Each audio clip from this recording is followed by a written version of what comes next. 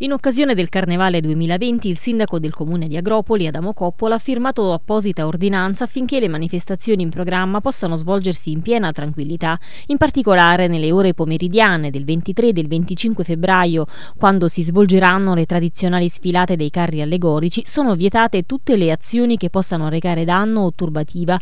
Queste le principali prescrizioni. È vietato l'uso di randelli di plastica, gomma, legno, di qualsiasi altro tipo di oggetto contundente. La vendita e l'esplosione di mortaretti, la vendita e l'uso per scopi impropri di bombolette spray, il lancio di farina, uova, acqua, ortaggi e di qualunque altra cosa che possa provocare danni a cose e persone. È vietato inoltre qualsiasi altro comportamento o attività aventi pregiudizio per l'ordine pubblico e la sicurezza urbana. I trasgressori saranno puniti ai sensi dell'articolo 650 del Codice Penale.